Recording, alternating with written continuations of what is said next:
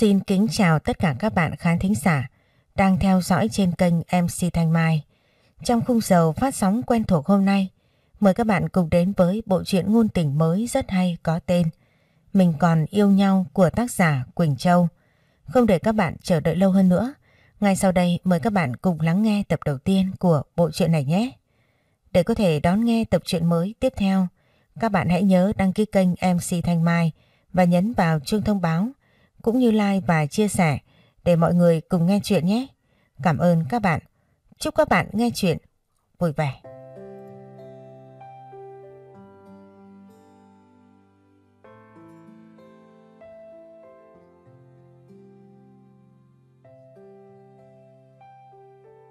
Trời bắt đầu vào tháng mưa, gió thổi lay lắt trên những ngọn cây, bầu trời đen kịt, mây đen cũng kéo về chuẩn bị cho một trận mưa lớn tới.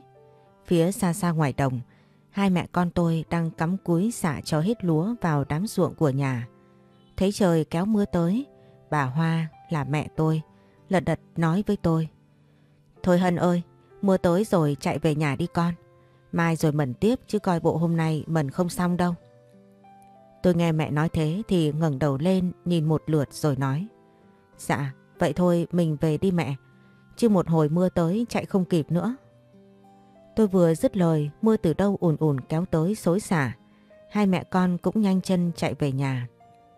Bà Hoa là người phụ nữ khá đẹp, năm nay tuy đã ngoài 40 tuổi, làm ruộng vất vả, nhưng bà vẫn còn trẻ lắm. Điều đặc biệt là bà không có chồng, nhưng bà có hai người con. Ngọc Hân là con lớn của bà, năm nay vừa tròn 18 tuổi. Còn đứa thứ hai là bé trai tên Hoàng Khang, được 15 tuổi. Năm Hân tròn 3 tuổi thì bà nhặt được Khang ở trước nhà, sau đó đem nuôi dưỡng, yêu thương như con đẻ của mình vậy. Khang nằm trên giường thấy mẹ với chị hai về người ướt sũng hết thì nhanh chóng ngồi dậy cất giọng nói. Mẹ với chị hai thay đồ nhanh đi, không cảm lạnh rồi ra ăn cơm nhé. Cơm nước con nấu xong hết rồi, chờ mẹ với chị hai mà con đói lắm rồi nè. Bà Hoa nghe con trai nói thế thì nhanh chân nói tôi đi thay đổ lẹ ra ăn cơm. Bữa cơm nhà tôi đơn giản lắm, chỉ có một đĩa rau lăng luộc, hai cái trứng gà chiên cùng nồi mắm kho quẹt. ấy thế mà cả nhà lại ăn cơm một cách ngon lành. Bà Hoa thấy hai đứa con mình như vậy, không cầm được lòng mà rơi nước mắt. Bà trách mình nghèo quá, để hai con của bà phải chịu khổ. Hai đứa đang tuổi ăn tuổi lớn, ăn không đủ chất làm sao học hành được. Tôi ngước lên thấy mắt mẹ đỏ hoe thì gặng hỏi. Mẹ sao không ăn cơm đi? Có chuyện gì khiến mẹ buồn ạ? Hay con với em Khang khiến mẹ buồn? Bà Hoa nghe thế liền trả lời. Không có gì đâu con. Hồi nãy dính nước mưa nên mắt mẹ đỏ vậy đó mà. Thôi hai đứa coi ăn lẹ rồi ngủ chiều đi học kìa. Chiều đến hai đứa nhỏ đi học, bà Hoa lại cầm vội cái nón lá đội lên rồi ra ruộng để xạ cho hết đám lúa. Nói về cuộc đời bà thì đúng công hồng nhan bạc phận luôn. Nhiều người trong thôn luôn thắc mắc về việc bà không có chồng lắm. Cũng thường hay đặt điều không tốt nói về bà. Bà biết hết nhưng bà vẫn thờ ơ, tỏ ra không biết, coi như không có gì. Đối với bà có lẽ bây giờ hai đứa con mới là nguồn sống, là tất cả của bà. Nhớ lại năm bà vừa tròn 20 tuổi, Bà khi ấy được coi là hoa khôi của làng. Đầu trên xóm dưới ai cũng khen. Nhà ông Hoàng bà Lan là bố mẹ bà có đứa con gái sắc nước hương trời, xinh đẹp hết phần thiên hạ. Bố mẹ bà nghe thì mát mày mát mặt lắm. Nhiều mối đến hỏi con gái bà cho con trai họ, nhưng ông bà từ chối hết, để cho bà quyền quyết định. Thế nhưng mà xùi quỷ khiến thế nào, bà lại đi yêu một người đàn ông đã có vợ. Người ta hứa hẹn với bà nhiều lắm, hứa sẽ bỏ vợ cưới bà, cho bà một danh phận xứng đáng. Đến lúc bà vì quá yêu nên bà trao thân cho người ta chẳng cần suy nghĩ gì cả. Bà ngây thơ tin vào những lời hứa của người ta. Hai tháng sau đó, bà phát hiện mình có thai, liền đi nói với người ta. Nhưng không, cả bầu trời như sụp đổ trước mắt bà. Người đàn ông đó nói sẽ không chấp nhận cái thai này cũng như không bao giờ bỏ vợ cưới người đàn bà dễ dãi như bà đâu. Bà nghe vậy nước mắt tuôn rơi, ôm hận trong lòng, chạy một mạch về nhà, nói hết sự thật cho bố mẹ bà. Hy vọng họ sẽ che chở đùm bọc cho bà. Ông Hoàng bà Lan nghe xong tức giận lắm. Ông sốc tới nỗi không kịp nói câu nào mà đứng chết chân nhìn đứa con gái của mình rồi ngã xuống đất. Bà Lan lật đật chạy tới đỡ ông Hoàng. Nhưng không, cuộc đời lại chớ trêu với bà, khiến bà lại đau lòng thêm lần nữa khi bố bà đã ra đi mãi mãi không về. Đám mà bố bà diễn ra ngay sau đó. Cả làng xóm đều thắc mắc về cái chết của ông. Nhưng hiển nhiên nhà bà không nói gì cả. Ngày qua ngày, bà nhốt mình trong căn phòng nhỏ, không dám đi ra đường vì sợ người ta dị nghị. Còn bà Lan, từ hôm ông Hoàng mất, bà đau lòng, bỏ ăn bỏ uống mà phát bệnh, nên cũng ra đi ngay sau đó. Nỗi đau mất bố chưa nguôi ngoài, thì giờ mẹ bà là điểm tựa duy nhất của hai mẹ con bà cũng đi mất. Bà đau lòng ân hận lo ma chay cho mẹ xong thì gửi cho chú thím nhang khói hộ. Bà ôm nỗi hận người đàn ông đó cùng với cái thai hơn 2 tháng bỏ làng đi đến nơi khác sinh sống. Cuộc sống ở nơi mới tuy có chút chưa quen lại bị người ta đồn thổi là bà chửa hoang nhưng bà hiển nhiên không nói năng gì ngày ngày đi nhổ cỏ thuê, hay ai mướn gì làm đấy cho đến lúc sinh con. Thấm thoát thời gian thoi đưa, Giờ đứa con gái bé bỏng ngày nào của bà, giờ cũng đã 18 tuổi, chuẩn bị vào đại học rồi. Đứa con trai bà nhặt được cũng 15 tuổi rồi. Đôi lúc bà tự nghĩ, nếu một ngày hai đứa hỏi bố nó đâu, bà không biết phải trả lời như thế nào. Nhưng tuyệt nhiên hai đứa không bao giờ hỏi, lại còn rất hiểu chuyện nên bà cũng an tâm phần nào. Một mình gồng gánh nuôi hai đứa con ăn học, đối với bà quả không dễ dàng gì, nhưng bà vẫn chịu khó cày cuốc làm lụng để có thể nuôi hai đứa một cách tốt nhất. Miên man suy nghĩ về tuổi trẻ trước đây, thì bà Hoa chợt nghe tiếng bà Sáu đang nhổ cỏ lúa ở đám ruộng kế bên hỏi. Nghe nói con bé Hân năm nay chuẩn bị thi đại học phải không chị Hoa? Bà Hoa nghe vậy thì nhoẻn miệng cười đáp lại. Đúng rồi chị Sáu ơi, chuẩn bị tới kỳ thi tốt nghiệp với đại học rồi. Tôi lo cho con bé quá chừng. Bà Sáu nghe thế hắng giọng mỉa mai nói. Trời ơi, nuôi ăn học chi cho tốn kém vậy chị. Để tôi dắt mối cho kiếm thằng chồng Đài Loan cả nhà được nhờ luôn. Chứ tôi thấy mẹ con nhà chị cực khổ quá. Con bé Hân nó đẹp gái vậy kiểu gì người ta thấy là ưng liền à? Bà Hoa nghe thế cảm thấy không vui mà nói lại. Nó còn nhỏ mà chồng con gì chị Sáu. Đi học có nghề nghiệp mới đỡ cực được. Chứ như tôi với chị suốt ngày bán mặt cho đất, bán lưng cho trời hoài, coi sao đặng. Bà Sáu lại được phen tức, đỏ mặt mà nói. Thì tôi nói vậy thôi. Chứ chuyện nhà chị tôi cũng đâu quản được. Nghèo mà còn đào bòng cho con đi học đại học, đại đồ. Có nước mặt luôn nghe chị. Chị cứ về suy nghĩ, bao giờ thông suốt thì nói tôi dắt mối cho nghe. Thôi tôi về lo cơm nước nhà cửa đây. Bà Hoa không trả lời nữa mà chỉ cười cặm cụi xạ cho xong để về nhà. Tối hôm đó, sau bữa cơm mẹ gọi tôi lại nói chuyện. Nhìn ánh mắt mẹ tôi buồn lắm. Tôi định hỏi nhưng rồi lại thôi. Mẹ cất giọng nói. Này Hân, sắp tới thì tốt nghiệp với đại học rồi phải không con? Tôi nghe vậy dường như đã hiểu ra ánh mắt của mẹ buồn vì điều gì rồi. Chắc mẹ buồn vì nhà nghèo sợ không lo nổi cho tôi ăn học đây mà. Đang chìm trong cơn suy nghĩ thì tôi giật mình nghe tiếng mẹ gọi. Hân hân, đang suy nghĩ cái gì mà mẹ hỏi bay không trả lời vậy? Tôi lúc này mới hoàn hồn lại cười một cái trả lời mẹ. Dạ không có gì đâu mẹ, con có suy nghĩ gì đâu. Con sắp thi rồi nè mẹ. Mẹ tôi nhìn tôi đầy yêu thương, cầm tay tôi rồi nói tiếp. Sáng học hành, ôn tập, rồi thi cho tốt nghe con. Mẹ sẽ cố gắng để con học mà không phải bận tâm điều gì cả. Đừng làm mẹ thất vọng nha con. Tôi ôm chầm lấy mẹ, nước mắt thì nhau rơi xuống, nghẹn ngào nói. Dạ, mẹ yên tâm. Con sẽ cố gắng để mẹ hãnh diện vì con nhé. Thôi khuya rồi, mình đi ngủ đi mẹ ơi. Mẹ cười nhẹ rồi đánh yêu lên đầu tôi gật đầu đi ngủ. Nằm vật lộn trên giường một hồi với bao suy nghĩ hỗn độn thì tôi cũng chìm vào giấc ngủ lúc nào không hay. Chỉ biết khi mở mắt ra trời đã hửng sáng rồi. Nhanh chân bước xuống giường cột lại tóc, kêu thằng Khang dậy rồi vệ sinh cá nhân. Đi xuống bếp thì thấy mẹ đã nấu sẵn nồi cơm cùng hai cây trứng luộc lột sẵn để đó rồi. Đang tính gọi thằng Khang vô ăn cơm rồi đi học thì tôi đã thấy nó đứng lù lù phía sau lưng tôi. Tôi giật mình la lên rồi nói. Trời ơi, đứng đây hồi nào mà không lên tiếng vậy?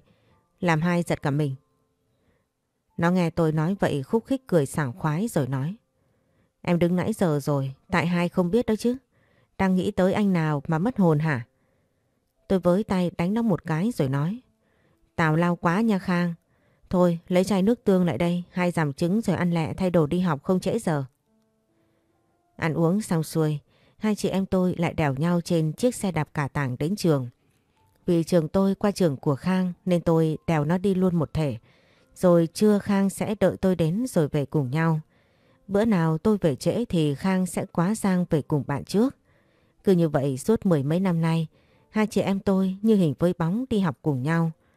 Dừng xe lại cho Khang xuống xong tôi lại lon ton đạp tới trường. Dắt xe vô nhà xe để thì tôi gặp Hương, con bạn thân ba năm nay của tôi. Thấy tôi nó chạy lại hỏi. Này có tiết kiểm tra văn đó, đã học bài chưa mày? Tao chưa học vô chữ nào hết, thấy giàu ghê luôn. Tôi nghe vậy thì cười lên, bởi vì đã quá quen thuộc với câu chuyện này rồi. Có bao giờ kiểm tra mà mày chịu học bài đâu mà. Thôi, lần này tao không có chỉ mày nữa đâu đó. Tự thân vận động nhà bạn mình ơi. Nói xong hai đứa tôi cười giòn tan, rồi nhanh chân bước vào lớp. Vừa ngồi vào bàn học thì tôi thấy một hộp sữa để đó từ lúc nào rồi. Không cần nói cũng biết chủ nhân của nó là Minh Quân, bạn học lớp bên cạnh. Tôi biết Quân thích tôi lâu rồi nên mới ngày này qua tháng nọ đem sữa sang cho tôi. Cất hộp sữa vào hộp bàn để chuẩn bị cho tiết học đầu tiên. Tôi nghỉ rồi giờ ra chơi sẽ gặp Quân nói chuyện một lần cho rõ ràng. Chỉ như vậy tôi ngại lắm. Ngồi học mà đầu óc tôi cứ nghĩ đi đâu mãi. Cuối cùng thì tiếng chống trường vang lên đã kéo tôi ra khỏi những suy nghĩ đó. Lật đật gấp sách vở lại, thò tay xuống hộp bàn lấy hộp sữa ra rồi chạy qua lớp kế bên tìm gặp Quân. Thật may cho tôi khi Quân đang đứng ngoài hành lang cửa lớp. Thấy tôi bước tới trên tay cầm hộp sữa thì Quân ngại ngùng gãi đầu rồi hỏi. Chào Hân, Hân sang tìm Quân có chuyện gì hả? Tôi nghe vậy thì dơ hộp sữa lên đưa cho Quân rồi cất giọng nói. Hân tìm Quân để muốn nói. Sau này Quân đừng đem sữa sang bàn học của Hân nữa nhé. Hân không thích uống sữa đâu. Cũng đừng để người khác hiểu nhầm gì về chúng ta. Quân nghe tôi nói thế, đang từ trạng thái ngại ngùng, thì lập tức chuyển qua bất ngờ, rồi hướng ánh mắt đượm buồn nhìn tôi.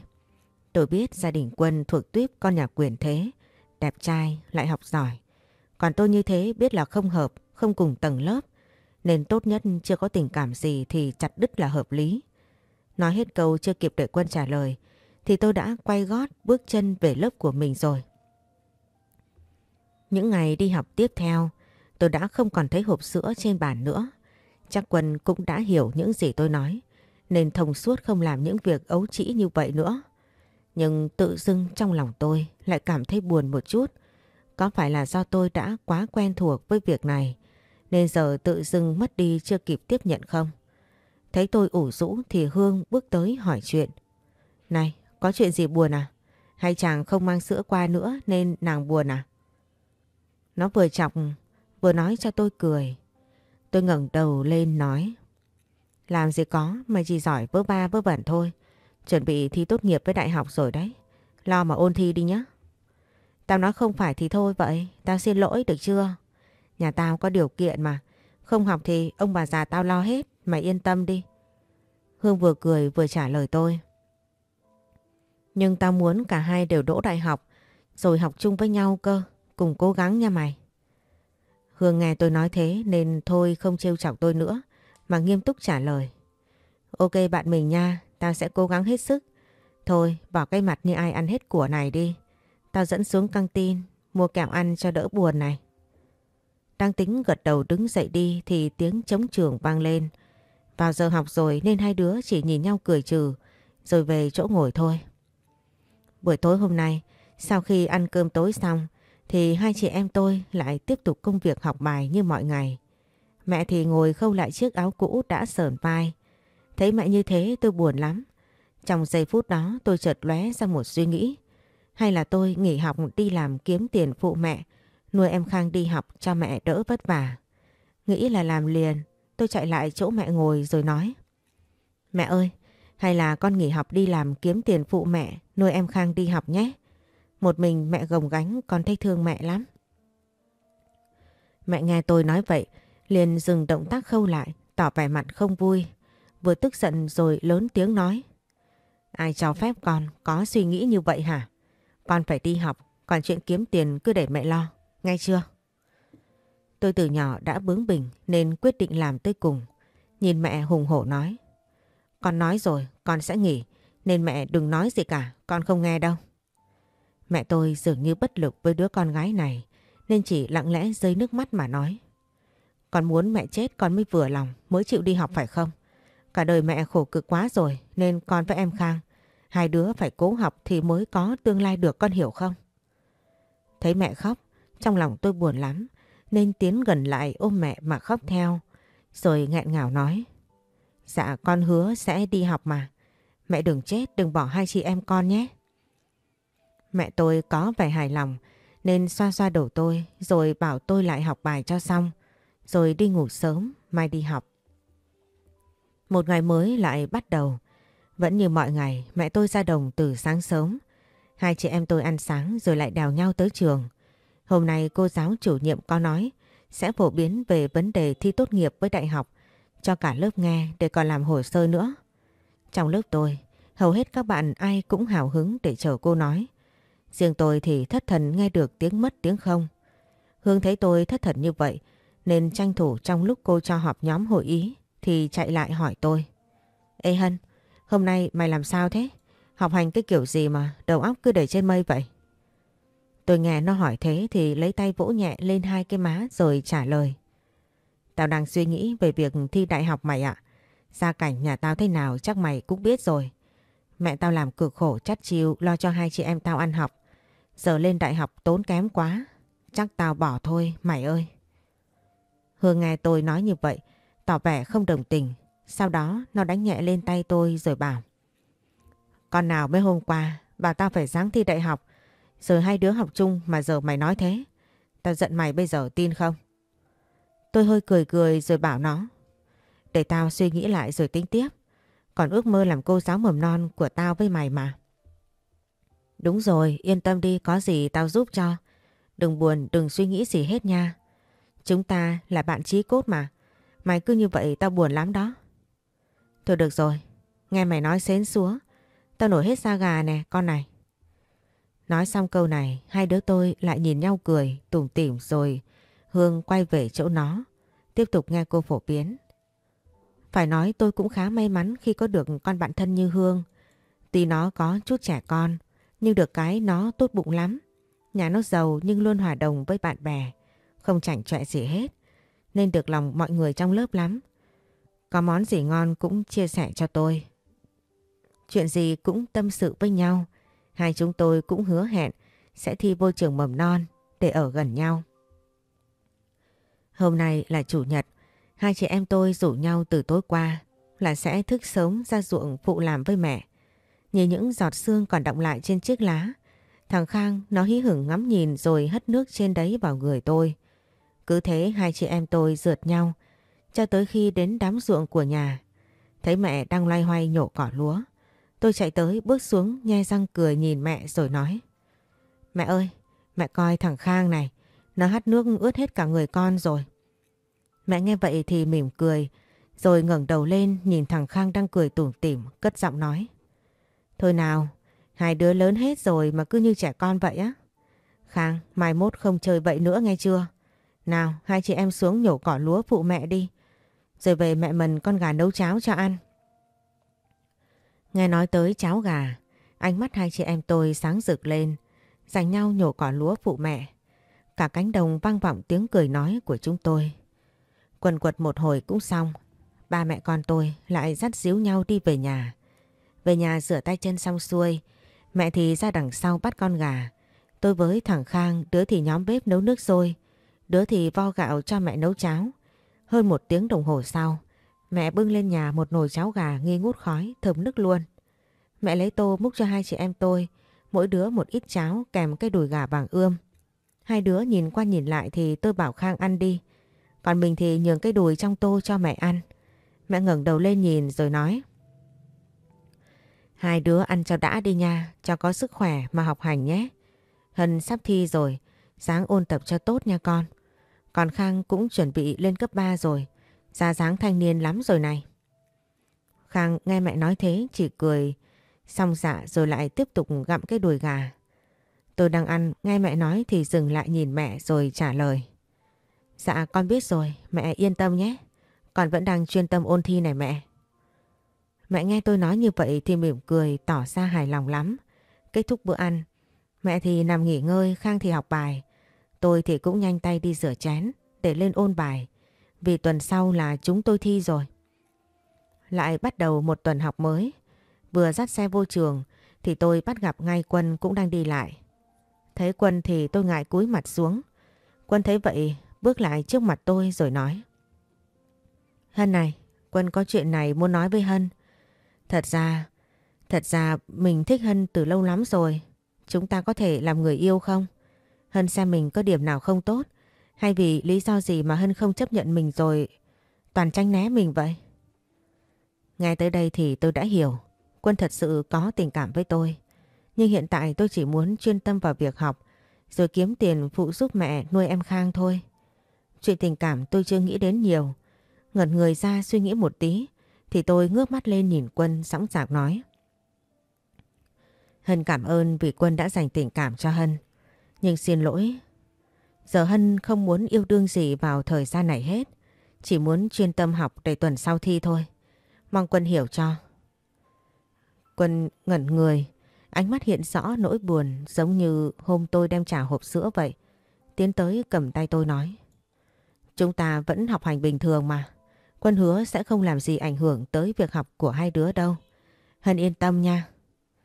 Tôi bắt đầu nhận ra sự cố chấp trong đáy mắt của Quân nên lập tức gỡ tay mình ra khỏi tay Quân rồi nói tiếp. Mọi chuyện cứ để sau này rồi hãy nói. Có duyên ắt sẽ có phận. Còn nếu không thì cũng đành chấp nhận vậy. Thôi, tới giờ học rồi. Hân vào lớp trước đây. Chào Quân. Cũng như lần trước, không để Quân kịp nói tôi đã nhanh chân bước vào lớp để Quân đứng sững sờ nơi sân trường. Vào đến lớp tôi cứ luôn nghĩ người như tôi có gì mà khiến Quân thích. Gia cảnh nhà tôi khác một trời một vực với nhà Quân. Làm sao mà xứng đáng. Nhưng tôi đâu có ngờ những lời nói ngày hôm nay lại là lời nói khiến tôi đau lòng cả cuộc đời về sau. Sau một tuần dòng xã ôn tập thì hôm nay là ngày đầu tiên chúng tôi thì tốt nghiệp. Tôi với Hương được xếp ngồi cùng bàn theo thứ tự ABC. Hương thì nó hào hứng lắm, vừa lôi bút giấy nháp các kiểu ra, rồi quay sang tôi nói. Ê, học bài chưa mày? Có gì nhớ chỉ tao nhé. Tao học mà chưa thuộc gì hết này. Tôi đang đọc sở bài văn, nghe nó nói thì dừng lại ngẩng đầu lên nhìn rồi nói. Học đủ xài thôi nha bạn mình, tự lực cánh sinh đi nha. Nó nghe tôi nói vậy thì huých nhẹ tay vào tay tôi, nụ cười nham nhở rồi cất tiếng lên. Này, mày có phải bạn thân của tao không vậy? Chỉ cho tao đi, rồi chiều tao dẫn đi ăn chè, uống trà sữa nha, chịu không? Tôi nghe vậy biết ngay con này đang mua chuộc tôi mà. Lần nào cũng vậy, nó luôn dụ tôi bằng mọi giá. Nó liên tục hỏi tôi có chịu không, nên tôi gật đầu cho vừa lòng nó. Xong hai đứa lại nhìn nhau cười, ổn định lại vị trí để bắt đầu cho cô phát đề thi. Ngồi miệt mài hai tiếng đồng hồ thì cuối cùng cũng xong bài thi. Cô giáo xuống thu bài còn chúng tôi dọn dẹp rác, bảo tập vào cặp rồi ra về. loay hoài dắt xe thì Hương nó từ đâu nhảy tới, hù tôi một cái mà hết cả hồn. Thấy tôi hết hồn nó khoái chí rồi cười nói. Đi ăn chè không Hân, tao khao mày một chầu vì hôm nay chỉ bài cho tao nhé. Chốt đơn không để tao biết đường này. Thấy nó năn nỉ quá nên tôi buộc lòng phải chịu thua mà đi cùng với nó. Hai đứa đèo nhau ra quán chè, bà Mai hay ăn mọi lần. Phải nói chè bà Mai bán ngon nhức nách luôn. Đến nơi gặp bà Mai đang lối húi múc chè cho khách mang về. Nghe tiếng hai chúng tôi nói luyên thuyên thì ngước lên nhìn nói. Chào ôi, lâu lắm rồi bà mới thấy hai đứa tới đây ủng hộ bà đó nha. Hương nhanh nhỏ vừa cười vừa đáp lại lời bà Mai. Dạ, lâu nay tụi con bận ôn tập để thi nên không có thời gian đi ăn chè của bà đó. Con nhớ món chè của bà ghê luôn. Bà Mai nghe Hương nó nói vậy chỉ cười rồi nói. Chà bố cô, dẻo miệng thế không biết. Thôi hai đứa ăn chè gì bà làm cho này. Lúc này tôi mới mở miệng ra nói được. Chứ nãy giờ Hương nó rảnh nói hết rồi. Bà cho con hai ly trà thập cẩm full topping như mọi khi nha. Rồi, hai đứa ngồi chờ bà tí nha, có trà liền đây. Chúc hai đứa thi đậu tốt nghiệp nha. Dạ, hai đứa con cảm ơn bà Mấy phút sau, bà Mai đem ra hai ly trà thập cẩm ngon ơi là ngon. Tôi với nó vừa ăn vừa nói tất tần tật chuyện trên trời dưới đất, xong cười vang lên cả quán. Ăn xong tôi lại đèo Hương về nhà nó, vì khi nãy hai đứa tôi đi chung một xe. Tới nhà Hương ngỏ ý muốn tôi vô nhà nó chơi, nhưng tôi ngại lắm nên một mực từ chối. Nhà Hương lớn lắm, nhìn không khác gì tòa lâu đài trong những câu chuyện cổ tích mà lúc nhỏ tôi hay đọc. Tôi đứng nhìn mà ngẩn ngơ luôn. Hương thấy tôi thất thần thì vỗ vai tôi hỏi. Sao thế? Nhìn gì mà thất thần vậy? Tôi lúc này mới hoàn hồn ấp a ấp úng trả lời nó. Đâu có gì đâu, nãy giờ tao ngắm nhà mày đó. Công nhận nhà mày đẹp thiệt nha. Nghe tôi nói vậy Hương bĩu môi nói. Trời ơi, có gì đâu mà đẹp. Tao nhìn giết thành ra cũng bình thường mà. Nghe nó nói thế, tôi tính nói nữa. Nhưng thấy có vẻ chưa rồi nên bảo nó. Thôi, mày vào nhà đi. Tao phải về nấu cơm cho mẹ rồi. Hẹn mai gặp lại nhé. Ok, về cẩn thận nhé. Bye nha. Hương bước vào nhà, tôi lại leo lên chiếc xe đạp cả tàng đạp về nhà. Vì hôm nay Khang nó về với bạn, nên tôi không phải đón nó nữa, mà đạp một mạch về nhà. Vừa dựng chiếc xe chưa kịp bước vào thì tôi thấy Khang. Nó hớt hải chạy ra ấp úng nói. Chị hai ơi, mẹ bị say nắng tủ huyết áp đang nằm trong nhà kìa. Nay sao hai về muộn vậy, em chờ hai mãi. Không kịp trả lời Khang, tôi đã lao nhanh vào nhà thấy mẹ đang nằm, gương mặt xanh xao đến đáng thương. Tôi bước gần lại thì mẹ cất giọng nói. Hân về rồi đó hả con? Mẹ mệt một tí à, chứ không có gì đâu. Khang nó lo cho mẹ nên cuống vậy đó. Hôm nay con thi thế nào, làm bài được không? Nghe mẹ hỏi, nước mắt tôi ở đâu tự dưng trào ra, nghẹn ngào nói. Con làm được, mọi thứ ổn hết, mẹ sao rồi? Mệt lắm đúng không mẹ? Con xin lỗi vì không làm gì giúp được cho mẹ cả. Để mẹ ốm ra nông nỗi này. Mẹ nghe tôi nói thế thì xoa đầu tôi mỉm cười nói. Mẹ đã nói là không sao rồi mà, dáng thì tốt nhé con. Dạ thôi mẹ nằm nghỉ ngơi đi. Con đi thay đồ rồi xuống bếp nấu cháo cho mẹ ăn nhé.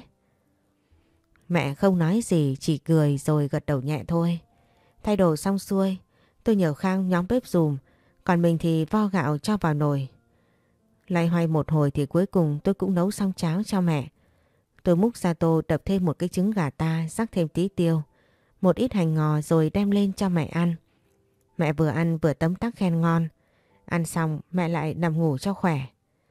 Tôi với Khang thì tranh thủ ăn cơm với thịt kho hôm qua còn, rồi mỗi đứa một góc học bài. Sáng hôm sau, trước khi đi tôi có hỏi mẹ còn mệt không? Mẹ lắc đầu nói khỏe rồi nên tôi cũng yên tâm. Hai chị em tôi lại đèo nhau đi tới trường. Dắt xe vô cổng, tôi lại bắt gặp Quân như lần trước. Nhưng lần này tôi không cúi mặt xuống nữa mà nhìn thẳng mặt Quân. Quân thấy tôi nhìn mình như thế thì cũng tiến gần lại. Tôi thấy thế thì cố gắng dắt chiếc xe đi thật nhanh. Nhưng không, Quân chạy lại kéo đít xe tôi ngại ngùng gãi đầu rồi nói. Hân này, hôm bữa Quân hơi nóng vội nên lỡ nói gì không vừa ý thì Hân bỏ qua cho Quân nhé. Nếu không làm người yêu thì mình có thể làm bạn với nhau được không vậy? Nghe Quân nói thế, tôi cũng suy nghĩ. Khoảng một phút, dù gì cũng làm bạn thôi mà. Chắc không có gì đâu. Coi như thêm bạn bớt thủ vậy. Suy nghĩ xong rồi tôi nói. Thôi cũng được, làm bạn thôi mà. Ok, thì làm bạn. Quân nghe tôi đồng ý thì khuôn mặt tỏ ra vui mừng lắm. Công nhận nhìn lúc này cậu ta đẹp trai thật sự. Đột nhiên hai má tôi đỏ bừng lên ngại ngùng. Ôi không, bệnh mê trai đẹp của tôi lại tái phát rồi. Lật đật chào quân rồi dắt xe đi thật nhanh. Bước tới cửa lớp, tôi đã thấy bóng sáng của Hương đứng chờ mình rồi. Thấy mặt tôi vẫn còn đỏ, nó cười rồi trêu. Hôm nay gặp chàng hay sao mà mặt nàng đỏ bừng lên thế kia? Không lẽ hơn nhà ta biết yêu rồi sao? Tôi lật đật xua tay ý nói không rồi bảo. Làm gì có, mày lại xàm xí rồi đó. Nhà tao bao việc làm không xuể thì yêu đương cái gì? Nó nghe tôi nói vậy nhất định không chịu thua mà hỏi tôi tới cùng. Vòng qua một hồi thì tôi đành kể với nó. Sáng nay tao gặp Quân, cậu ta nói với tao là muốn làm bạn với tao. Tao cũng đắn đo suy nghĩ mấy phút rồi mới đồng ý đấy. Hương nghe tôi kể xong vỗ đùi một cái rồi cười nói. Hèn gì hôm nay má nàng ửng hồng, thì ra là gặp chàng đây mà. Tôi đã ngại, mà nghe nó nói thế càng ngại thêm, nên đành lảng sang chuyện khác cho nó khỏi nói nữa. Đúng lúc đó thì cô lại vào. Hai đứa tôi bỏ dở chuyện đang nói đi nhanh về bàn ngồi chờ cô phát bài thi. Tích tắc đồng hồ xoay vòng, ơn trời tôi cũng làm xong bài thi rồi. Quay sang Hương tôi hỏi nhỏ nó làm xong chưa thì nó gật đầu. Hai đứa tôi nhìn nhau cười tủm tỉm rồi đi lên nộp bài cho cô. Xuống thu gom rác, bút thước lại bỏ cặp rồi dắt nhau ra về. Vừa bước ra tới cổng nhà xe, tôi lại gặp Quân đứng đó từ bao giờ. Quái lạ, cậu ta làm bài kiểu gì mà nhanh thế không biết. Ra sớm hơn cả hai đứa tôi. Quân thấy tôi với Hương thì đi nhanh lại nói. Chào hai bạn, hôm nay làm bài được không Hân? Nghe Quân hỏi tôi thì nó huyết nhẹ tay nó vào tay tôi, ý nói trả lời người ta đi đó mà. Tôi hiểu ý nên đáp lại. Cảm ơn Quân, mình làm bài được hết nha, còn Quân thế nào? Ổn hết không? Ổn hết nha, Hân à. Hôm nào thi xong cho phép Quân mời hai bạn đi uống nước nha. Tôi chưa kịp trả lời thì Hương đã nhanh chóng lên tiếng. Cũng được, vậy hẹn nhau khi thi xong nhé. Thôi, về nào mọi người. Nghe Hương nó nói thế tôi cũng quay sang chào Quân rồi dắt xe đạp đi về. Thời gian cứ thế trôi qua, đến hôm nay thì chúng tôi cuối cùng cũng thi xong hết. Bây giờ thì chờ kết quả thôi. Tôi với Hương vui vẻ vừa cười vừa nhảy chân sáo nói chuyện líu lo. Nhưng tôi đâu biết những hành động vừa rồi của mình đã được thu hết tất cả vào tầm mắt của ai đó rồi. Đang vui vẻ thì đột nhiên tiếng nói của Quân từ đâu phát ra. Chào hai bạn, không biết lời mời đi uống nước bữa trước còn hiệu lực không vậy? Hương tính nói thì tôi nhanh chân hơn một tí nói trước. Để hôm khác được không vậy? Trời sắp chuyển mưa rồi. Hân phải về cho kịp để đón em nữa. Xin lỗi nha. Ai kia nghe thế, khuôn mặt liền trùng xuống kiểu không vui, nhưng cũng đành chấp nhận mà nói. Tiếc thế, thôi đành hẹn hôm khác vậy. Thôi hai bạn về nhanh đi, không mưa lớn giờ. Tôi với Hương gật đầu chào quân, rồi mỗi đứa một chiếc xe đạp về. Tôi thì nhanh chân đạp thật nhanh để tới đón Khang. Cũng may tôi vừa dừng xe thì đã thấy Khang từ phía trong cổng trường đang bước ra. Lúc này mưa bắt đầu rơi, tôi vội giơ tay vẫy lên nói lớn. Chị hai ở đây nè Khang, chạy lại đây nhanh lên, không mưa ướt đấy. Khang thấy tôi giơ tay vẫy thì chạy nhanh tới. Cũng may leo lên xe che áo mưa lại, rồi thì mưa mới bắt đầu nặng hạt, xối xả xuống. Vừa đạp xe vừa vuốt mặt do nước mưa xối vào nữa, nên chẳng mấy chốc tôi đã cảm giác hai mắt mình rát, chắc kiểu gì cũng đỏ hoe rồi. Khang thì ngồi phía sau, vừa nói với tôi, nó lạnh quá. Tôi nghe thế, thương nó lắm. Từ nhỏ sức khỏe nó đã không tốt. Sợ dính nước mưa nó ốm, nên tôi lấy hết sức đạp thật nhanh về nhà. Sau một hồi đạp mỏi cả chân, thì hai chị em tôi cũng về tới nhà. Dựng chiếc xe vào vách nhà xong, tôi kêu Khang chạy vô thay đổi nhanh đi không ốm. Nó đang run rẩy lên vì lạnh, nên hai hàm răng đang đánh vào nhau gật đầu.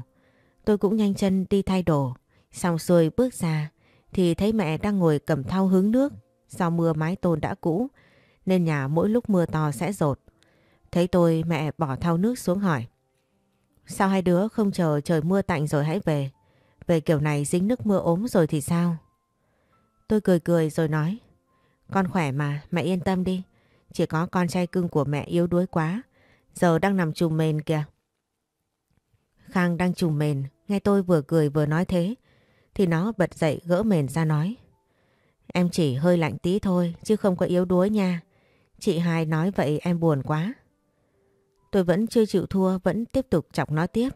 Thì mẹ bảo đi dọn cơm ăn. Trong bữa cơm mẹ có hỏi tôi thi thế nào rồi. Tôi đang ăn nhai dở thì dừng lại nói. Con thi xong hết rồi mẹ. Bây giờ chờ kết quả nữa thôi ạ. Mai mẹ cho con ra đồng phụ mẹ với nhé. Khang ở nhà nấu cơm đi nha. Khang cũng đang ăn, nghe tôi nói vậy thì chỉ gật đầu rồi ăn tiếp. Ước mơ của nó sau này là trở thành một đầu bếp xuất sắc nên tôi hay cho nó nấu cơm lắm. Còn mẹ thì cười rồi gật đầu ý muốn nói mai cho tôi ra đồng rồi. Ăn cơm dọn dẹp xong xuôi vì hôm nay khá mệt nên cả nhà tôi đều đi ngủ sớm hết để mai còn đi ra đồng với mẹ. Sáng sớm tình mơ tiếng gà gáy cất lên tôi lật đật vung mền gối ra dậy đi đánh răng. Vừa đi xuống bếp thì tôi đã thấy mẹ lúi húi thổi bếp lửa nấu cơm. Thấy tôi đầu xù tóc rối thì mẹ cười. Tôi cũng gãi gãi đầu cười theo. Rồi nhanh chân đi đánh răng, vệ sinh cá nhân với thay đổi xong xuôi. Đến lúc bước lên nhà thì thấy mẹ đã xới hai chén cơm cùng một ít đồ ăn hôm qua còn sót lại. Mẹ bảo tôi ăn đi rồi hai mẹ con dắt nhau đi ra đồng. Ngoài đồng mùa này lúa đang bắt đầu trổ. Khắp con đường tôi đi, mùi lúa tỏa ra thơm dã man. Đằng xa xa các bác trong xóm cũng nô nức đi. Người thì dắt trâu cho ăn cỏ, người thì ngồi cắt cỏ đem về. Trên những cành cây cao thì có vài ba con chim hót líu lo nghe mà vui tai. Khung cảnh nhìn cũng thật yên bình. Đi một hồi thì hai mẹ con tôi cũng ra tới đám ruộng của nhà. Mẹ bảo tôi xuống nhổ cỏ phụ mẹ, chứ mấy nay trời mưa cỏ lên nhiều quá. Tôi nghe liền gật đầu bước xuống nhổ. Đang loay hoay thì tiếng bà Sáu ở đám ruộng kế bên vang lên. Chị Hoa, nay dẫn con gái ra ruộng đấy à? Mẹn ơi, con bé xinh gái quá. Dạ, chị Sáu đấy à? Con bé thi xong rồi, nên tôi cho nó ra mẩn phụ tôi. Chứ cỏ lên nhiều quá, mình ên tôi mẩn không xuể. À, thì ra là vậy. Chuyện bữa trước tôi nói với chị đó. Chị suy nghĩ sao rồi, quyết định chưa vậy? Mẹ tôi nghe bà Sáu nói vậy thì chị mỉm cười rồi nói. Tôi không trả lời thì chị cũng phải hiểu rồi chứ. Tuy nhà tôi nghèo nhưng tôi không có khái niệm bán con mình như vậy đâu nghe. Sau này chị đừng nhắc lại chuyện này nữa nha. Bà Sáu nghe mẹ tôi nói vậy thì nguyết dài một hơi xong bĩu môi nói. Tôi có ý giúp chị vậy thôi mà, chị không chịu thì tôi kiếm mối khác vậy. Ở xóm này ai cũng muốn tôi làm mai dùm cho mà không được đó. Mẹ con chị sau này đừng có hối tiếc à. Thôi thôi, cả nhà tôi cảm ơn lòng tốt của chị nha. Nhà tôi coi bộ không có phước hưởng đâu. Thôi chào chị à. Hẹn khi khác sảnh rồi nói chuyện chứ tôi mắc làm rồi. Bà Sáu định nói gì tiếp. Nhưng mẹ tôi quay lưng lại nhổ cỏ. Nên bà Sáu tức giận hầm hầm cái mặt. Đi về đám ruộng của mình mà mẩn tiếp. Nãy giờ đứng nghe hai người nói chuyện. Tôi tò mò dữ lắm. Không biết họ đang nói gì. Mà mẹ tôi lại nói không bán con này nọ. Cuối cùng vì tò mò quá nên tôi đành đánh liều hỏi mẹ.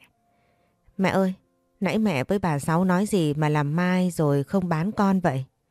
À, bà cái chuyện tào lao ấy mà con. Bà Sáu muốn làm mai cho con để đi lấy chồng Đài Loan cho mẹ được nhờ. Nhưng mẹ từ chối rồi, con yên tâm đi.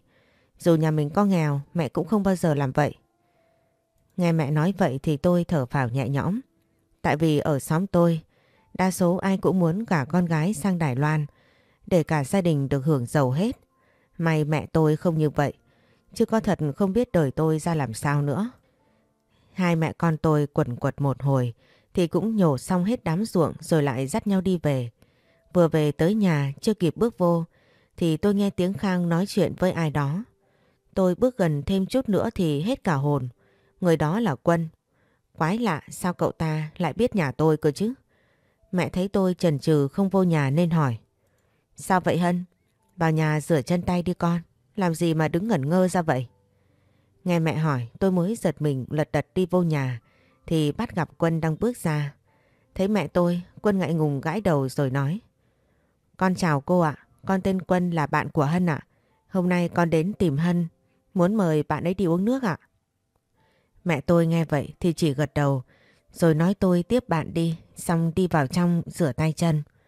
Tôi thì ngại nên bảo Khang ra nói chuyện với Quân, còn mình thì cũng nhanh chân đi ra sau nhà với mẹ. Mẹ đang rửa tay chân, thấy tôi đi lại mẹ nói.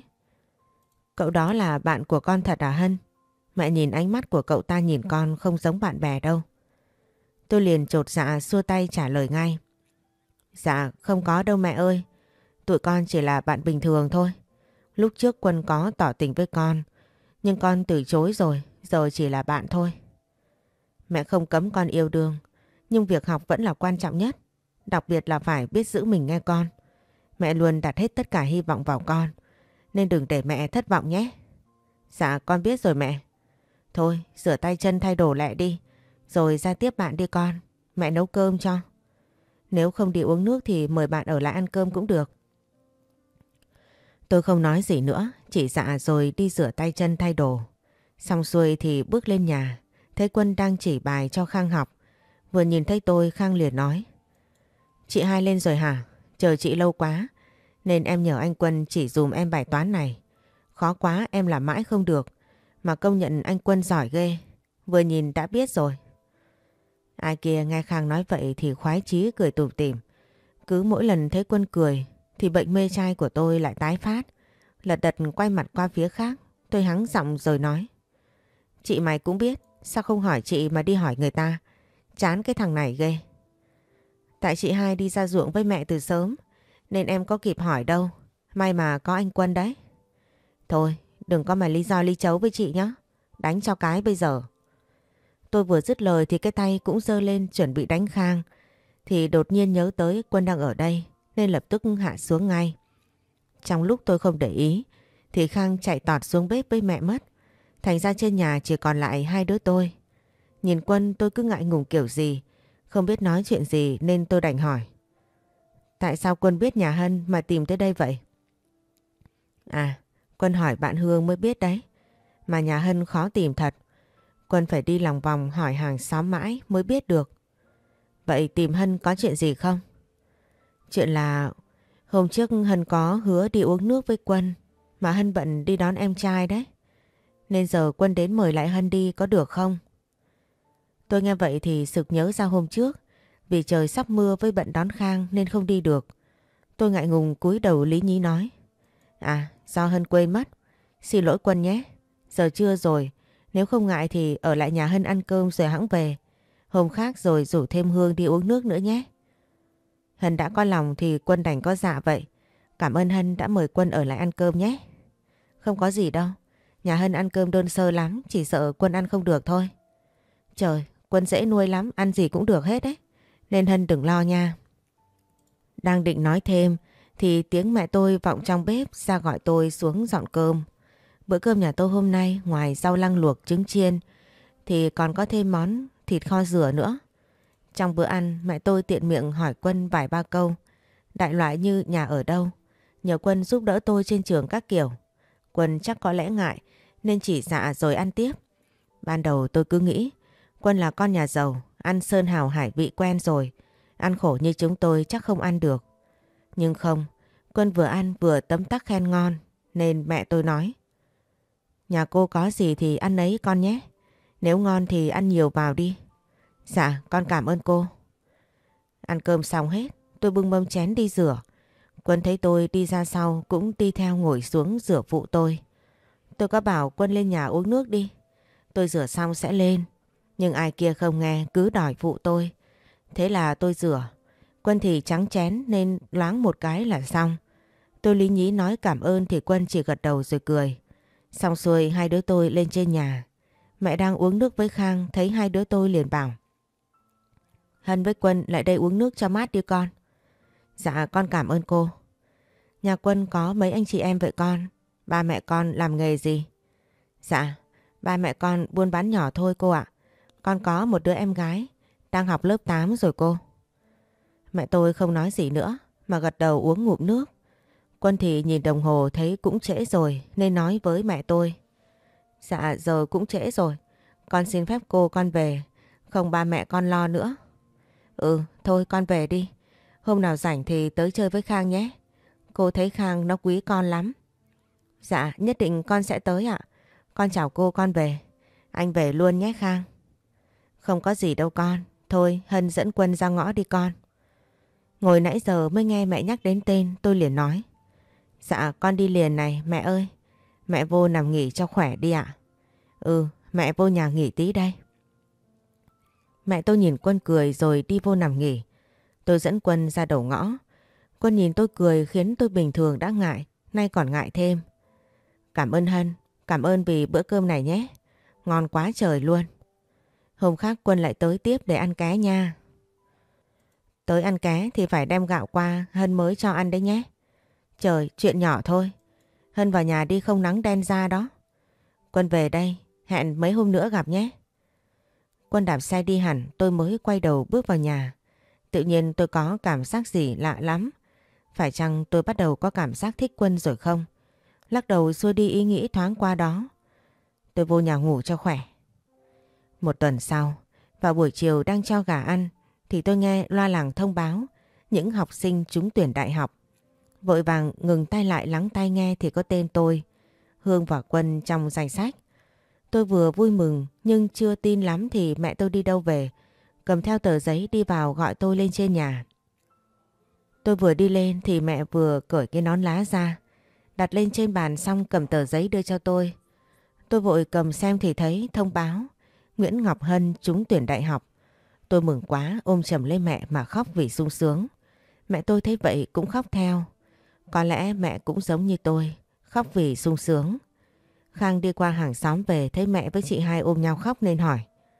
Mẹ với chị hai sao vậy? Sao tự dưng ôm nhau mà khóc? Mẹ tôi buông ra, lấy vạt áo đã phai màu, lau nước mắt rồi nói với Khang. Chị hai trúng tuyển đại học rồi, con ơi. Mẹ mừng quá nên khóc chứ không có gì đâu. Hả? Chị hai trúng tuyển rồi hả? Em chúc mừng chị nha. Chị của em giỏi quá. Tôi nghe Khang nói vậy thì Phì cười bảo. Chị hai của em không giỏi sao được. Mai mốt Khang cũng phải giỏi như chị nghe không? Dạ em biết rồi mà. Em sẽ cố gắng để mẹ với chị hai hãnh diện vì em nha. Thôi, mẹ mừng quá. Mai phải đi mua gì về nấu ăn mừng mới được. Hai đứa muốn ăn gì mẹ nấu cho nào. Nghe tới đồ ăn là hai con mắt của chị em tôi sáng rực lên. Quay qua tôi với Khang đồng thanh đáp. Tụi con muốn ăn cháo gà nha mẹ. Được rồi, mai mẹ mua thêm ít rau về bóc gỏi gà cho hai đứa ăn nha. Giờ đi nấu cơm đi Hân. Tôi dạ mẹ rồi nhanh chóng đi nấu cơm, vừa vo gạo vừa hát líu lo. Vậy là ước mơ học đại học của tôi đã thành hiện thực rồi. Loay hoay một hồi thì tôi cũng đã nấu xong bữa ăn. Mẹ đi xuống bếp nhìn tôi cười khen. Dạo này con gái mẹ nấu ăn ngon lắm rồi đấy. Dạ đâu có đâu mẹ. Con chỉ thấy mẹ nấu là ngon nhất thôi. Cái con bé này chỉ giỏi nịnh mẹ thôi. Nào đi dọn cơm ăn rồi nghỉ ngơi sớm. Mai lên trường đưa con. Dạ mẹ, để con bưng mâm cơm lên. Gọi Khang ra ăn luôn. Mẹ gật đầu rồi đi lên. Tôi đi theo sau lên thì thấy Khang ngồi sẵn ở bàn rồi. Bữa cơm nhà tôi hôm nay diễn ra nhanh hơn mọi ngày. Ăn uống và dọn dẹp xong xuôi. Thì tôi ra bàn học gấp sách vở cho gọn gàng lại. Vừa gấp tôi vừa nhớ quãng thời gian mười mấy năm đi học của mình. Nhớ lúc còn học cấp 2, nhiều lần bị bạn bè chọc là đồ không có bố. Tôi tủi thân nhiều lắm, còn đánh nhau với chúng nó nữa. Lắm lúc muốn chạy về hỏi mẹ rằng bố con đâu, nhưng tôi sợ mẹ buồn nên lại thôi. Cứ thế thời gian trôi qua, chúng nó thấy tôi thở ơ nên thôi không trêu chọc nữa. Nhắm mắt một cái, bây giờ tôi đã chuẩn bị làm tân sinh viên rồi. Tôi tự hứa với lòng là sẽ cố gắng học tập thật tốt để mẹ hãnh diện vì tôi. Đang ngồi suy nghĩ thì tiếng mẹ trên giường vọng ra. Hân ơi, làm gì đấy con? Vào đây mẹ nói chuyện nào. Dạ, con đang dọn sách vở lại cho gọn thôi. Con vô ngay bây giờ đây mẹ. Nói xong thì tôi đứng dậy đi về phía giường. Mẹ ngoắc tay ý muốn tôi nằm xuống kế mẹ. Tôi mỉm cười nhảy lên giường chui vào lòng mẹ mà ôm. Mẹ nhột nên đánh yêu lên tay tôi rồi nói. Cái con bé này lớn rồi mà như con nít vậy đó. Không chín chắn gì hết. Con vẫn còn bé mà, đã lớn đâu ạ? Con chỉ muốn được ở với mẹ như vậy hoài thôi à? Sắp làm tân sinh viên tới nơi rồi mà chưa lớn gì nữa hả? Hôm nay có giấy báo vậy chắc sắp đi nhập học rồi đó con. Dạ con cũng chưa biết nữa mẹ ơi. Ngày mai lên lớp chắc cô thông báo với mẹ. Mai mốt xa mẹ xa khang, con sẽ nhớ mọi người nhiều lắm. Nhớ mẹ với em thì sáng học cho tốt nha con. Mẹ sẽ cố gắng làm gom góp cho con học đến nơi đến chốn. Dạ con hứa sẽ không làm mẹ thất vọng vì con đâu. Ừ con gái của mẹ ngoan lắm. Thôi ngủ sớm đi. Rồi mai đèo em Khang đi học. Chiều mai mẹ làm con gà nấu cháo với bóp gỏi cho hai chị em ăn. Dạ con yêu mẹ nhất trên đời. Nói xong thì tôi cũng dần chìm vào giấc ngủ. Trong mơ tôi thấy Quân ôm bó hoa tỏ tình với tôi. Xung quanh có rất nhiều bạn bè hô hoán, bảo tôi đồng ý đi. Quân thì nở nụ cười thật tươi, chờ tôi đồng ý. Lúc tôi chuẩn bị gật đầu sang tay ôm bó hoa, thì có một cô gái từ đâu bước tới, tát vào mặt tôi một cái rồi nói tôi là con giáp thứ 13, giật bổ cô ta. Mọi người xung quanh nghe vậy đều thay đổi thái độ quay sang chửi bới tôi. Quân thì lập tức nắm tay cô gái đó, đi lướt qua tôi mà không nói hay giải thích một lời nào. Duy nhất chỉ có Hương chạy lại kéo tôi ra đám đông đó. Tôi ôm nó khóc òa lên, cho đến khi chiếc chuông báo thức vang lên thì tôi giật mình thức giấc. Đưa tay chạm mắt thì khóe mắt vẫn còn đọng nước. Tôi xoa đầu cho tỉnh táo rồi dậy vệ sinh cá nhân. Thay đổi xong xuôi, tôi bước ra thấy Khang, ngồi chờ ở bàn. Còn mẹ thì không thấy đâu hết, nên tôi hỏi nó. Ủa, mẹ đâu rồi Khang? Mẹ đi ra chợ rồi chị hai. Chị sao nay ngủ dậy muộn quá vậy? Em chờ chị nãy giờ. À chị ngủ quên. Do cái đồng hồ báo thức bữa giờ nghỉ học, nên chị chỉnh qua giờ khác, cho nó khỏi gieo mà quên mất. Nay phải lên trường. Chán chị hai hết sức luôn ấy. Thôi chị ăn sáng lẹ đi không trễ giờ đấy. Chị đang ăn này, em ăn chưa? Này chắc cũng có điểm thi học kỳ rồi đúng không? Dạ hôm nay có điểm thi rồi này chị. Em ăn rồi chị lo ăn đi. Tranh thủ ăn xong, hai chị em tôi lại đèo nhau trên chiếc xe đạp thân thuộc đến trường. Được hàng đến trường xong, tôi lại hì hục đạp xe đến trường của mình. Vừa bước chân vào lớp thì đã gặp ngay Hương đứng sẵn chờ tôi ở đấy rồi. Tôi nhìn nó cười rồi kéo tay nó lại bàn. Ngồi rồi nói. Chúng tuyển đại học rồi đấy, lo mà học đi nha mày. Sao cảm giác thế nào, nói tao nghe xem. Hôm qua nghe lo làng thông báo mà tao không tin luôn mày ạ. Sáng nay tao xem danh sách ở bảng tin trường tao mới dám tin là tao trúng tuyển đại học thật rồi. Tao vui quá mày ơi. Tao cũng y chang mày vậy ấy. Vẫn còn chưa tin đây là sự thật này. Thôi, lát nữa tao với mày đi ăn chè ở quán bà Mai mình hay ăn nha. Cũng được. Lâu rồi cũng chưa được đi ăn chè. Nhắc đến là lại thèm. Ok. nay tao khao nên cho mày ăn tẹt ga luôn nha.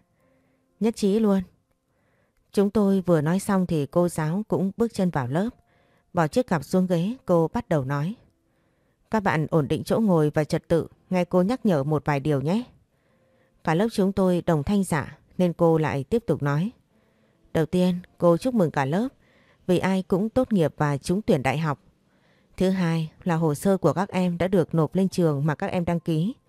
Bây giờ các em về nhà chờ bên trường gửi giấy báo rồi nhập học nhé. Và cuối cùng ngày mai trường của chúng ta sẽ tổ chức lễ ra trường và trưởng thành cho các em vào lúc 8 giờ. Cô mong lớp chúng ta đi đầy đủ nhé. Cả lớp chúng tôi nghe cô nói vậy thì lớp trưởng thay mặt cả lớp đứng lên đáp. Dạ, chúng em cảm ơn cô và nhà trường rất nhiều. Ngày mai các bạn nhớ đi đầy đủ nha. Vậy buổi sinh hoạt của lớp tới đây kết thúc. Cô chúc tất cả các em luôn thành công trên con đường học tập nha. Chúng em cảm ơn cô ạ. Cô nói xong thì cũng đứng dậy cầm cặp sách đi. Cả lớp chúng tôi cũng lần lượt đi về. Tôi và Hương đang đi ra gần chỗ nhà xe thì lại gặp Quân. Không biết vô tình hay cố ý mà lần nào cũng gặp Quân chỗ này hết. Thấy Quân đang đi lại thì Hương huých nhẹ tay tôi rồi ghé tai nói nhỏ. Chàng tới rồi kìa. Sao nàng lại đứng thẫn thờ ra vậy? Này, mày tào lao quá nha. Tao với Quân không có gì đâu. Chỉ là bạn bình thường thôi. Sau này đừng nói như vậy nữa. Lỡ ai nghe được không hay đâu. Không có gì thật không đấy? Nhìn mặt mày là tao biết ngay có ý với người ta. Mà bảo không có gì là sao? Thì không có gì thật mà. Thôi thôi, Quân tới rồi kìa. Im đi đấy. Nói lung tung tao giận mày bây giờ. Biết rồi, khổ quá cơ. Vừa nói xong câu đó thì Quân đã đi tới trước mặt chúng tôi. Tôi ngẩng đầu lên nhìn thì bắt gặp ngay nụ cười hút hồn của Quân. Vì ngại quá mà mặt đỏ bừng lên, Quân cất tiếng nói. Chào hai bạn, không biết hôm nay có thể mời hai bạn đi uống nước không? Ừ, được chứ. Hôm bữa Hân có nói rồi mà. Sẵn tiện đây, hai bọn mình tính đi ăn chè. Quân đi chung luôn cho vui đi. Vậy thì được quá. Lâu rồi Quân cũng không ăn chè. Nay phải ăn cho đã mới được.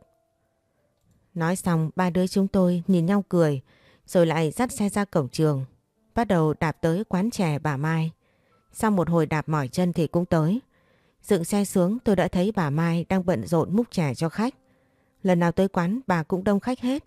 Nên chúng tôi lại phải chờ. Ngồi chờ hơn 5 phút thì bà Mai cũng bước ra. Thấy chúng tôi thì nở nụ cười thật tươi rồi nói. Lâu rồi bà mới thấy hai đứa tới đây đó. Này dẫn thêm người yêu tới đây ăn nữa hả? Cậu thanh niên này là người yêu bé Hân à? Hương ngồi im nãy giờ, nghe bà Mai nói thế trung ý nó, nên nó cười tủm tỉm, làm cho bà Mai càng tưởng thật nên nói tiếp. Hai đứa trông đẹp đôi lắm. Hân nó xinh gái, lại thêm cậu thanh niên này cũng đẹp trai xứng đôi quá.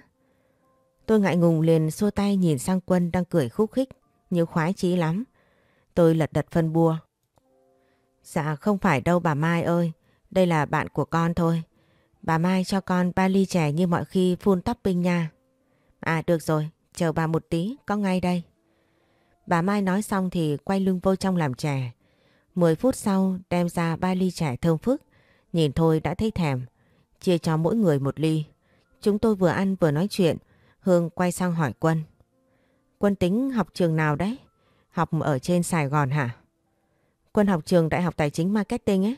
Còn Hân với Hương học ở trường nào thế? À, hai đứa mình học trường Đại học Sài Gòn, khoa sư phạm mầm non nè.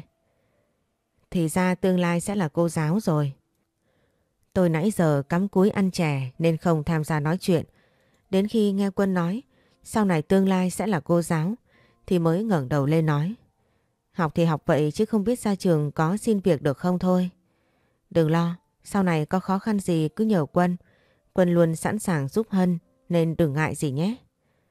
Tôi tính từ chối mà Hương vỗ tay tôi nên tôi liền hiểu ý chỉ cười rồi bảo. Ừ, cảm ơn Quân trước nhé. Thôi ăn lẹ rồi mình về không trưa rồi, nắng lắm. Tôi với Hương ăn xong chuẩn bị đứng lên trả tiền thì thấy Quân đang trả rồi nên cũng thôi. Hương ghé tay tôi nói nhỏ. Tao thấy tên Quân này được đấy, ga lăng lại đẹp trai, quá hợp với Hân nhà mình. Thôi tao xin, mày nói nữa tao giận mày bây giờ. Được rồi, xin lỗi bạn mình được chưa? Thích thì nói, thích đi chứ cứ chối là sao không biết. Thôi đi về, ở đây nó nhảm đi, đánh cho cái tỉnh giờ. Vừa nói tôi vừa cười, Quân cũng đi ra. Chúng tôi cảm ơn Quân vì mời đi ăn mà lại để Quân trả tiền. Quân chỉ cười bảo không có gì, nên chúng tôi chào nhau xong, rồi mỗi đứa một ngã đi về. Trên đường về nhà, tôi ghé lại trường Khang để đón nó về chung luôn. Từ đằng xa tôi đã thấy nó rồi. Tôi giơ tay lên vẫy, nó thấy tôi liền chạy thật nhanh tới. Vừa đạp xe hai chị em chúng tôi nói rất nhiều chuyện trên trời dưới đất cho nên chẳng mấy chốc mà đã về đến nhà. Khang dựng xe vào bên vách nhà còn tôi thì bước vào trong. Thấy mẹ đang ngồi trầm tư suy nghĩ bỏ chiếc cặp lên bàn xong tôi hỏi. Mẹ có chuyện gì không vui hả? Hay sao mà suy nghĩ tới mức con về mà cũng không biết vậy? À, hai đứa đi học về rồi à? Mẹ ngồi chờ hai đứa chứ có suy nghĩ gì đâu. Khang thì dựng xe xong thì vừa vô nhà vừa nói. Chắc tại mấy hôm nay mẹ ngủ không được ngon giấc nên mệt đấy chị hai chứ không có gì đâu. Tôi nhìn Khang rồi quay sang mẹ hỏi lại cho chắc chắn. Có phải vậy không mẹ? Nếu thế thì tối nay mẹ nghỉ ngơi sớm cho khỏe đi nhé. Ừ, mẹ biết rồi. Thôi hai đứa vô rửa tay chân với thay quần áo ra đi. Rồi mẹ dọn cơm cho ăn. Thôi mẹ mệt thì ngồi nghỉ ngơi đi. Để con làm cho. Được rồi, mau đi đi. Tôi với Khang nhanh chóng đi rửa tay chân và thay đồ. Xong xuôi tôi vội vàng bước xuống bếp để dọn cơm lên. Thì mẹ đã dọn lên mất rồi. Ăn uống xong tôi bảo mẹ với Khang ngủ trưa đi. Còn tôi bê mâm cơm vừa ăn xuống rửa chén dọn dẹp nhà cho gọn gàng. Rồi cũng đi ngủ. Buổi chiều hôm nay đúng như dự định thì mẹ sẽ nấu cháo gà với làm gỏi cho chị em tôi. Nên khi ngủ dậy tôi rủ Khang đi bắt gà.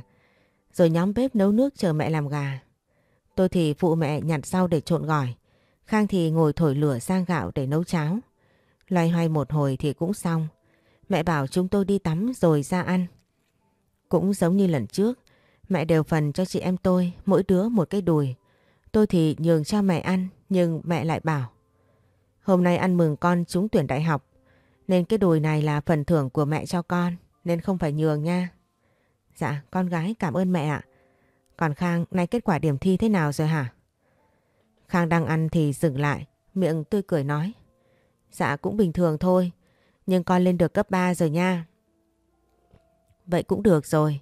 Con trai mẹ không làm mẹ thất vọng mà. Cả Hân cũng thế. Mẹ hãnh diện vì hai đứa lắm. Thôi hai đứa ăn nhanh rồi nghỉ cho khỏe. Hôm nay mẹ hơi mệt nên Hân dọn cho mẹ nhé. Dạ, mẹ nốt tô cháo này đi rồi hãy đi nghỉ. Con thấy mặt mẹ tiểu tụy quá. Ừ, để mẹ ăn. Ăn xong thì mẹ nhanh chóng đi vào giường nằm nghỉ. Có lẽ hôm nay mẹ thật sự mệt mỏi lắm.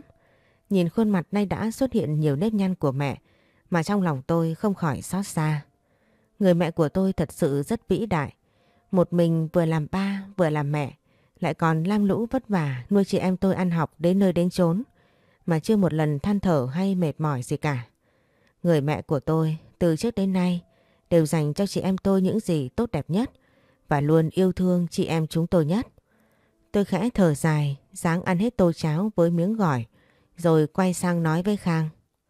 Này Khang, chị sắp đi học xa nhà rồi. Em ở nhà nhớ chăm sóc mẹ cho chị nhé. Mẹ cũng có tuổi rồi, nên dạo này hay mệt mỏi đấy. Nhớ để ý đến mẹ nha. Dạ, em biết rồi chị. Em hứa sẽ chăm sóc và để ý đến mẹ cho chị hai yên tâm đi học nhé. Ừ, Khang của chị mới hôm nào còn bé xíu, mà nay trưởng thành lắm rồi đấy. Ai rồi cũng sẽ phải lớn lên thôi mà chị. Em chỉ mong sau này có một công việc ổn định để phụ chị hai nuôi mẹ thôi. Ừ, Khang nay biết suy nghĩ như vậy chị mừng lắm. Mẹ mà nghe được cũng mừng cho chị cho xem. Thôi, chị hai ăn nhanh đi rồi còn nghỉ ngơi. Mai có lên trường nữa không chị? Bao giờ chị mới nhập học? À, mai chị có lên trường. Trường tổ chức lễ trưởng thành và ra trường cho học sinh lớp 12. Còn bao giờ trường gửi giấy báo thì chị mới nhập học. Dạ, thôi, em ăn xong rồi. Em lại dọn sách vở của em cho gọn rồi đi ngủ đây. Chị hai ăn đi. Khang nói xong thì cũng đứng dậy đi về phía bàn học của nó. Nên thành ra chỉ còn mình tôi ngồi lại. Vội ăn nhanh cho xong. Tôi dọn dẹp sạch sẽ. Sau đó cũng leo lên chiếc giường quen thuộc để ngủ. Nằm chằn chọc mãi vẫn không ngủ được. Tôi lăn lộn trên giường bắt đầu đếm từng con cừu một. Đây là thú vui tao nhã của tôi, mỗi khi không ngủ được. Chẳng biết đếm tới bao nhiêu con, mà đến khi tiếng chuông báo thức quen thuộc vang lên. Tôi bàng hoàng giật mình tỉnh dậy thì đã 6 giờ sáng rồi. Nhanh chóng dậy đi vệ sinh cá nhân. Tôi xuống bếp hâm lại nồi cháo gà hôm qua. Để lát mẹ với Khang dậy còn ăn. Tôi cũng tranh thủ ăn một bát, xong rồi đi thay đồ. Bước ra trước nhà tôi đã thấy bóng dáng quen thuộc đứng đấy từ bao giờ. Chính xác là Quân. Quái lạ, mới sáng sớm mà đứng trước cửa nhà mình rồi. Tôi bước lại gần ho nhẹ một tiếng rồi làm ai kia giật mình quay lại. Thấy tôi, Quân nở nụ cười thật tươi, rồi gãi đầu ấp á ấp úng nói. Chào Hân, Hân, Hân dậy rồi à? Ừ, có chuyện gì không mà mới sáng Quân đã ở đây rồi. Sáng nay là hôm cuối cùng chúng ta gặp nhau rồi, nên Quân tới đây từ sớm, muốn chở Hân lên trường được không? Trời, Hân có xe mà, tới đây chi mắc công vậy Quân không biết. Tại Quân muốn vậy mà, thôi, Hân cất xe vào đi, lại đây Quân chở đi nè, nhanh đi không muộn giờ đấy. Tôi một mực từ chối, nhưng Quân năn nỉ quá, với lại đến nhà tôi từ sáng sớm nữa. Bây giờ mà từ chối nữa thì thấy cũng tội, nên tôi đành gật đầu đồng ý, rồi cùng Quân đi lên trường. Quân thấy tôi đồng ý, thì khuôn mặt hiện lên sự vui vẻ tột độ. Vừa đạp xe rồi lâu lâu quay lại phía sau nhìn tôi cười tủm tỉm, làm tôi ngại đỏ hết cả mặt. Suốt dọc đường đi, hai chúng tôi không nói câu nào. Cho đến khi gần tới trường thì tôi vỗ vai Quân bảo, dừng xe lại rồi nói. Quân, dừng xe lại ở đây đi. Hân đi bộ lại trường cũng được, chứ đi tới nơi mọi người lại thấy hiểu lầm không hay đâu. Có gì đâu mà hiểu lầm, Quân với Hân chưa ai có người yêu, thì mình yêu nhau có gì sai đâu. Hân không thích mọi người nói này nói nọ, nên thôi để Hân đi bộ cho xong nha. Quân nghe tôi nói vậy nhất định không chịu, mà đạp xe càng lúc càng nhanh tới cổng trường. Phía trước tôi đã nghe một vài đứa con gái nói. Ôi, nam thần của tao, nay chở con nào vậy? Rồi con nhỏ xấu xí như vậy mà được quân để ý à? Nó đúng là đũa mốc trả mâm son. Tôi nghe rất nhiều câu như vậy. Còn quân thì lúc nào cũng tỏ vẻ không quan tâm, cũng chẳng để ý gì đến những lời nói đó. Nên làm cho tôi thật sự rất bực. Đi tới nhà xe, tôi nói thẳng với quân. Quân thấy chưa? Thấy mọi người nói hơn như thế nào không? Sau này tốt nhất Quân đừng bao giờ làm những việc như ngày hôm nay nữa. Nếu không đến cả việc làm bạn cũng không thể đâu. Gương mặt Quân lúc này bắt đầu bừng bừng lửa giận. Tôi còn định nói thêm thì Quân đã nhanh chóng nắm tay tôi kéo đi tới chỗ bọn con gái lúc nãy mà to tiếng nói. Xin tuyên bố với mấy bạn, đây là người yêu của mình nên tốt nhất mấy bạn bớt sân si nói xấu cô ấy đi nha. Tuy cô ấy không xinh đẹp, mặt mũi không chát đầy phấn son như các bạn, nhưng trong lòng mình, cô ấy lúc nào cũng xinh đẹp nhất.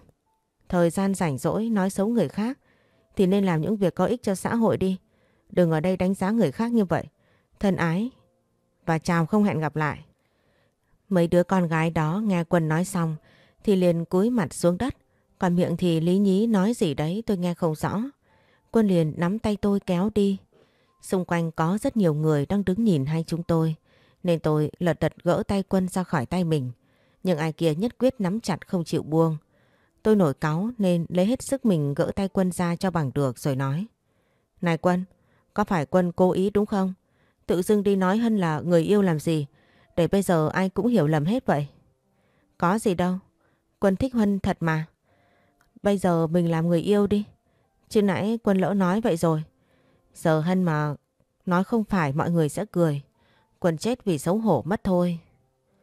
Quân vừa nói vừa làm vẻ mặt tội nghiệp khiến tôi muốn cười lắm mà không dám. Vì sợ Quân quê nên tôi cũng không đành lòng từ chối. Mà suy nghĩ dù sao tôi cũng có cảm tình với Quân. Hay là thử chấp nhận một lần đi, cho cả hai cơ hội tìm hiểu. Nghĩ trong đầu là vậy, nhưng khi nói ra tôi cảm thấy ngại, nên chỉ gật đầu nhẹ thay cho câu đồng ý. Quân thấy tôi gật đầu thì khỏi phải nói, vui mừng ôm chầm lấy tôi, nở một nụ cười thật hạnh phúc. Vậy là vì một câu nói lúc nóng giận của Quân mà chúng tôi đã chính thức trở thành người yêu của nhau.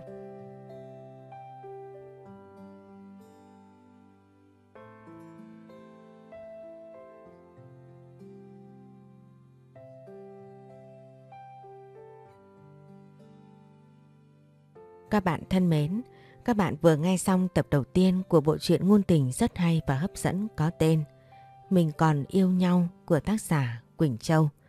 Để có thể tiếp tục đón nghe tập truyện mới tiếp theo, các bạn hãy nhớ đăng ký kênh MC Thanh Mai và nhấn vào chuông thông báo cũng như like và chia sẻ để mọi người cùng nghe chuyện nhé.